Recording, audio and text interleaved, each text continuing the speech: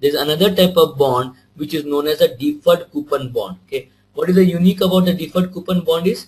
So think about this as a timeline t equal to 0 let's say that the bond was issued over here. The bond says that he the bond issuer says that he will not pay any coupon for let's say three years okay? It can be many years okay? But let's say he is saying that he will not pay any coupon for three years and the coupon will start paying only for fourth year onwards okay? In case of deferred coupon bond he can say that okay i will get this coupon accrued and he says okay i can pay it over here or I, he, he can spread this coupon payment whatever was due it can be paid later on also. So that is what he says. So the deferred coupon bond. Deferred coupon bond they it will not pay coupon for some time.